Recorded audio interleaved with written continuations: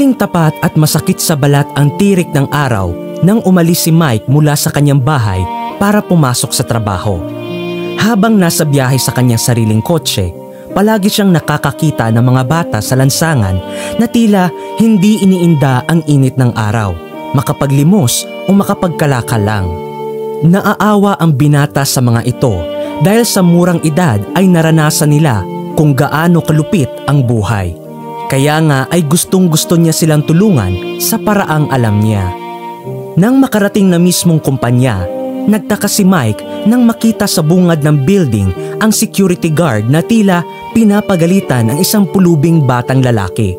Dahil sa kuryosidad ay lumapit siya doon para alamin ang nangyayari. Manong, anong nangyayari dito? Tanong niya sa guard. Kaagad itong tumalima nang makita siya. Magandang umaga po sir. Wala naman po ito. Ako na ang bahala. Aniya. Sir? Sir? Nabigla siya nang maramdamang hinawakan siya ng bata sa laylayan ng kanyang damit. Tulungan niyo po ako. Kailangan ko po kasi ng... Manahimik ka bata. Putol ng guard sa gustong sabihin ito. Ah, sir, wag po kayong maniwala dyan. Malakas ang loob niyan dahil nanakawan niya na ang isa sa mga empleyado dito. Pasensya na po at palalabasin ko na siya. Saad muli ng guard, nasapilitang tinanggal ang kamay ng bata mula sa pagkakahawak sa kanya saka ito iginiya palabas. Wala namang nagawa si Mike kundi tingnan ng bata na lumabas na ngunit pilit pa rin siyang nililingon. May kung ano siyang nakikita sa mga mata nito ngunit dahil sa sinabi ng guard kanina ay nag-alangan siya. Sinigurado niya sa sarili na bago matapos ang araw na ito ay hahanapin niya ang bata at aalamin kung totoo nga ba ang sinasabi ng guard. Masyado rin kasi siyang nagmamadali sa ngayon dahil may importante siyang meeting na pamumunuan. Tungkol yun sa proyekto na matagal niya ng balak ipatupad. Maayos niya namang naitaguyod ang pagpresenta ng kanyang proposal sa mga board members at investors. Ngunit natapos iyon sa hindi magandang resulta. Tuloy ay sumasakit ang ulo na pumasok ang lalaki sa kanyang opisina habang nakasunod sa kanya ang sekretarya na tila na problema rin sa nangyari. Sir Mike, papaano na po yan? Tanong sa kanya ni Paul ang lalaking sekretarya. Bumuntong hininga siya at napatitig sa tanawin mula sa kanyang mataas na building. Hindi ko rin alam, Paul. Ginawa at sinabi ko naman ang lahat para makumbinsi sila. Pero hindi ko alam kung bakit karamihan sa kanila ay ayaw pumayag sa proyekto ko. Ang proyekto niya kasi ay ang pagpapatayo ng orphanage o magiging tahanan ng mga batang lansangan na madalas ay nakapaligid lang sa labas ng kanyang kumpanya. Gusto niyang tulungan ang mga bata sa pamamagitan nito kaya naman sinubukan niyang gawin itong proyekto at kumbinsihin ang mga board members at investors na makiisa at magbigay rin ng libreng tulong sa mga bata. Ngunit sa kasamaang palad, wala man lang ni isa sa kanyang mga opisyal ng kumpanya ang nakiisa rito at parang pinagmumukha pa siyang walang alam sa kanyang posisyon bilang CEO dahil hindi niya daw maintindihan ang ibig sabihin ng negosyo na kapag nagpasok ka ng pera ay dapat babalik din iyon sa iyo sa mas malaki ng halaga. Ang totoo niyan, sir, lumapit sa kanya ang sekretarya. Nilingon niya ito at parang maingat siya nitong tiningnan. Huwag niyo pong mamasamain ang sasabihin ko, pero hindi po talaga maiintindihan ng mayayaman ang nangyari kanina. Anito, nangunot lang ang noo ni Mike na nagtataka. Anong ibig mong sabihin? Ang ibig ko pong sabihin ay, kaya po ayaw nilang pumayag sa proyekto nyo ay dahil wala silang balak na mag-donate ng pera. Lalo na't alam nilang wala naman silang matatanggap pabalik sa oras na nag-invest sila sa proyekto. Para sa kanila ay walang kwenta yon kasi hindi naman nila mapapakinabangan. Sa maikling salita, hindi nila kaya magbigay ng tulong sa mga mahihirap dahil ayaw nilang mabawasan ang yaman nila. Yan ang tumatakbo palagi sa isip ng mga gahamang mayayaman. Paliwanag ng sekretarya. Mayaman rin naman ang lalaki, ngunit kahit kailan ay hindi siya nakaisip ng ganoong bagay. Hindi naman masakit sa bulsa ang pagbibigay ng kaunting tulong sa mga nangangailangan. Kaya bakit may mga taong tila masyadong protektado sa sarili nilang salapi na umaabot na sa puntong nagiging makasarili ang mga ito? Alam naman ni Mike sa sarili na sa realidad ng buhay ay may mga ganoong talagang tao Ngunit minsan ay hindi niya maatim na nagiging malupit na ang kanilang pagiging gahaman. Naisip muna ng binata na magpahangin sa labas kaya nagdesisyon siyang lumabas ng building. Ngunit sakto naman niyang nakita ang batang pulubi kanina na may daladalang sako at namamasura patungo sa direksyon kung saan marami ang mga tao. Ngunit iyon pala ay dahil sa sinusundan nito kung saan papunta ang karamihan sa mga tao para manlimos sa mga ito habang nangangalakal. Sinundan niya ang bata hanggang sa makarating ito sa kalsada at napagdesisyonang umupo sa tabi na tila nagpapahinga. Hindi rin iyon nagtatagal dahil mayat maya ay tatayo ang bata para muling manlimos o maghanap ng pwedeng ikalakal at uupo lang kapag napagod. Matyagang pinanood ni Mike ang bata habang nakaupo sa loob ng isang kainan. Kumain kasi siya habang pinapanood ito. At nang matapos, bumili rin siya ng pagkain para sa bata. Ngunit may naisip ang lalaki. Inilabas niya ang wallet na naglalaman ng 10,000. Hinanda niya yon bago dumiretso sa kinauupuan ng batang lalaki.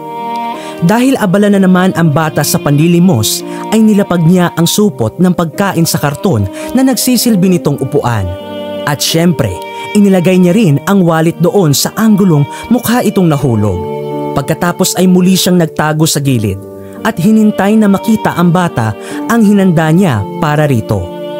Maya-maya ay nagpunta na nga ito sa kinaroroonan at nang makita nito ang isang supot ng pagkain ay kaagad na kumislap ang mga mata nito sa tuwa. Saglit niyang sinilip ang laman noon saka masayang ngumiti. Ngunit nang makita ng bata ang wallet ay natigil ito at biglang napalinga ng tingin sa paligid. Doon na nakuha ang buong atensyon ni Mike dahil gusto niyang malaman kung anong balak nitong gawin doon. Ito rin ang paraan niya para makumpirma kung totoo nga ba ang sinasabi sa kanya ng security guard na ito ang nagnakaw sa isa sa mga empleyado niya. Kinuha ng bata ang wallet at naglakad muli palayo. Sinundan niya naman ito ng palihim. Sa ilang minutong pagsunod niya sa bata, ay alam niyang hindi binuksan ng bata ang wallet para makita ang laman nito. Maging ang pagkain nga na daladala niya ay hindi pa rin ito binabawasan na labis niyang pinagtaka dahil alam niya kung gaano na ito kagutom kanina pa dahil sa paghahanap buhay. Sa hinaba ng nilakad nila ay sa wakas tumigil na ang bata at pumasok sa kung saan. Ngunit nang mapagtanto ni Mike kung ano ang kanyang pinasukan at kung nasa ang lugar na sila ay labis siyang nagulat. Dahil nagpunta lang naman ang bata sa istasyon ng pulis. Hindi siya pumasok sa halip ay sinilip ang bata sa loob. Hindi rin nakatakas sa kanyang pandinig ang sinabi ng bata sa isang pulis. Mamang pulis, iaabot ko lang po sana itong wallet na ito para po mabalik sa may-ari. Nakita ko po kasing nahulog yan sa gilid ng kalsada. Baka po hindi niya napansin. Saad ng bata. Salamat bata. Hayaan mo. Hintayin na lang namin na may kumuha nito dito. Pwede ka na umuwi sa inyo. Um, may pakiusap nga po sana ako na kung pwede pong maghintay po dito hanggang sa dumating po yung may-ari at kunin ang wallet niya. M- bakit naman? Nagtatakang sabi ng pulis. At paano kung gabi na yun magpunta o kaya ay kinabukasan pa? Ayos lang po sa akin maghintay rito kahit abutin po ng ilang araw. Yun ay kung ayos lang din po sa inyo. Ano po kasi, gusto ko lang pong makahingi ng kahit kaunting barya lang po sa kanya. Pandagdag lang po sa gamot ng lolo ko. Hindi naman po sa nangihingi ako ng bayad sa ginawa ko. Gusto ko lang pong magbakasakali na makahingi po ng tulong. Wika ng bata sa nakikiusap na boses. Marahil ay dahil sa awa, pumayag ang pulis at hinayaan ang bata na maghintay doon. Naantig naman ang puso ni Mike sa narinig at nasaksihan. Kung ganoon ay hindi naman pala totoong magnanakaw ang bata. Hindi rin pinatagal ng lalaki ang pagtatago at pumasok na rin sa loob. Nang makita siya ng bata ay parang nabuhayan ito at kaagad na lumapit sa kanya. Sir, sir, ah, uh, ako po yung bata kanina sa building nyo. Ano, pasensya na po sa pagpupumilit ko kanina. Aniya ng bata sa kanya na tila nahihiya. Napangiti naman siya at ginulo ang buhok nito. Ayos lang yon. Tugon niya at pagkatapos tumungo sa pulis para kausapin ito tungkol sa wallet niya. Nang malaman ng bata na sa kanya pala ang wallet na iyon ay nagulat ito. Sa, sa inyo po pala ang wallet na yan, sir? Kung ganoon... Inangat nito ang supot na hawak at tinitigan siya ng inosente nitong mga mata. Kayo rin po ang nagbigay nito? Lumuhod siya para pantayan ang bata. Oo, sa akin galing yan. At akin rin ang wallet na ito. Kaya salamat. Saad niya na hindi na sinabi ang totoo. Ang mahalaga naman ay ngayon kilala na niya ng tunay ang bata. Kung ganoon po, Nahihiyang nag-angat ito ng tingin sa kanya. pwede po akong humingi ng tulong sa inyo? Ka- kahit kaunting barya lang po. Pambili lang po ng gamot ng lolo ko. Tinitigan niya ang bata at tinanong ito. Anong pangalan mo? Gerald po. Sige, Gerald. Bumili tayo ng gamot at pagkain ng lolo mo. Halika na. Labis naman ang tuwa ng bata na halos mapatalon pa ito sa sobrang saya at nayakap siya. Masaya niya rin itong niyakap pabalik. Maya-maya ay napagdesisyon na, na nga nilang umalis para bumili ng gamot. Bumili na rin sila ng pagkain at prutas para sa lolo ni Gerald. Habang naglalakad silang dalawa ay napatanong si Mike sa bata. Hindi ka na nag-aaral, Gerald? Hindi na po, sir. Wala na po kasing magpapaaral sa akin. Maagang namatay ang nanay ko habang ang tatay ko naman ay nasa ibang pamilya na. At tanging ang lolo ko na lang ang kasama ko sa buhay. Ang tatay ni mama. Noong una ay gustong gusto akong paaralin ni lolo kaya sinubukan niya magtrabaho. Pero sa kasamaang palad po ay nagkasakit siya at kailangan ng alaga. Kaya imbis na maglaro sa labas o mag-aral, mas pinili ko na lang po na maghagilap ng pangkain namin sa araw-araw ni Lolo at pambili ng gamot niya. Wala sa sariling napatitig ang lalaki sa bata. Kung naaawa siya sa mga batang nakikita niya sa kalsada, mas kaawa-awa naman si Gerald kaysa sa mga ito na ang isang batang walang muwang na katulad niya ay kailangan na magbanat ng buto o hindi kaya'y manlimos para lang mabuhay ang pamilya. Nalulungkot siya para rito dahil hindi man lang nito naranasang maging masaya bilang bata at maagang nasakripisyo ang kinabukasan dahil sa sobrang kahirapan. Ilang sandali pa nga ay nakarating na sila sa patutunguhan at muli na namang nagulat si Mike sa nasaksihan. Nakatira lang pala kasi ang maglolo sa ilalim ng tulay at tagpi-tagpi lang ang paligid ng kanilang bahay na para bang sa unang tingin ay hahawiin agad ito ng hangin.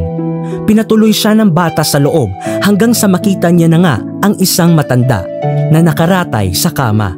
Sa hitsura nito ay mukha na nga siyang nanghihina at halos butot balat na ang katawan dahil sa sobrang kapayatan. Sir, ito po ang lolo ko. Lolo Fernan, si Sir Mike po. Nandito po siya para magbigay po ng tulong para sa gamot niyo. Aniya ng bata. Ang matanda naman ay tumingin sa kanya sa katipid ng ngumiti. Totoo ba, mister?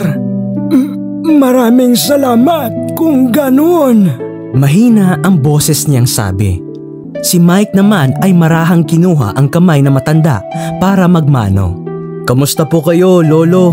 A- ayos lang naman. Bibili lang po ako ng maiinom natin. Saglit lang po. Biglang sambit ni Gerald na mabilis namang nawala sa harap nila. Dahilan para mapatingin ang lalaki at ang matanda sa nilabasan nito. Yang batang yan talaga. Napakakulit. Komento bigla ni Lolo Fernan dahilan para sa kanya naman siya mapatingin. Pero kahit ganyan si Gerald, napakasipag na bata niyan. Lahat ng bagay sinusubukan at inaalam niya. Matyaga rin siya at maalaga. Kaya mahal na mahal ko ang apo kong yan. Mariing namang nakinig lang si Mike sa matanda. Maya-maya ay biglang nagbago ang tono ng boses nito at parang namumula na ang mga mata. Kaya lang, sobrang nasasaktan rin ako dahil wala akong magawa para sa kanya. Gusto ko siyang paaralin. Gusto ko siyang mamuhay bilang isang bata na ang hilig ay ang maglaro sa labas o hindi kaya'y mag-ipon ng mga kaibigan. Pero lahat ng iyon ay nawala sa kanya ng maaga. Hindi niya nagawang magsaya bilang bata dahil sa akin. Gumaralgal ang boses niya sa kahumikbi. Naaawa naman siyang tumingin rito. Lolo, huwag niyo pong sisihin ang sarili niyo. Para sa akin, hindi naman naging ganun kalungkot si Gerald na maagang naagaw sa kanya ang pagkakataon niyang maging masaya bilang isang bata dahil nakikita ko sa kanyang masiyahin siyang bata. Kahit maliit na bagay ay kaya na siyang pasayahin. Kagaya na lang ng pag-aalaga niya sa inyo. Ginagawa niya ito dahil mahal niya kayo at mas magiging masaya siyang alagaan ka kaysa makisama sa ibang mga bata. Mas lalong humagulgol ang matanda. Nandoon lang naman si Mike sa tabi nito. Pinaparamdam na kahit sa oras ng kalungkutan ay pwede niya siyang damayan. Ngunit kaagad lang na huminto sa pag-iyak ang matanda nang bumalik kaagad si Gerald na may dalang soft drinks para sa kanilang dalawa at tubig naman para sa kanyang lolo. Malaki ang ngiti ng bata na inabot ang tubig sa matanda. Heto, Lolo. Tubig lang po muna kayo ha. Makakasama po sa inyong soft drinks. Anito, napangiti muli ang lalaki. Halatang alagang-alaga talaga nito ang lolo kahit na sobrang hirap sila sa buhay. Kaya naman, humarap siya dito at tinanong ito. Gerald, gusto mo ba ako maging kuya? Napakurap-kurap sa kanya ang bata. Pagkatapos ay biglang lumiwanag ang mga mata sa tuwa. Ta talaga po? Pwede ko po kayong tawagin kuya? Ngumiti lang ang lalaki. Hindi lang yun. Pwede mo rin ako maging tunay na kuya. Inosente lang siya nitong tinitigan. Papaano naman po yon? Tanong nito. Imbis na sagutin ni Gerald ay lumingon siya sa matanda. Lolo, kung papayagan niyo ako, pwede ko po bang ampunin si Gerald? Nanlaki ang mga mata ng bata. Mas lalo na si Lolo Fernan na bigla ay naiyak sa tuwa. S- Siyempre, siyempre naman. Masaya akong marinig yan. Ah, aampunin niyo po ako? Sambit ni Gerald. Pagkatapos ay bumagsak ang mga balikat at lumungkot ang mukha. P- pero, paano po si Lolo? Ayoko po siyang iwan. Muli niya lang nanginitian ang bata at hinimas ang ulo nito. Huwag kang mag-aalala. Hindi naman natin siya iiwan. Ipapagamot natin siya para lumakas ulit si Lolo at makasama mo pa siya ng matagal. Payag ka na ba? Muling nanumbalik ang tuwa sa boses at mga mata ni Gerald kaya naman muli siya nitong sinugod ng yakap. Maraming salamat, Kuya Mike. Maraming salamat.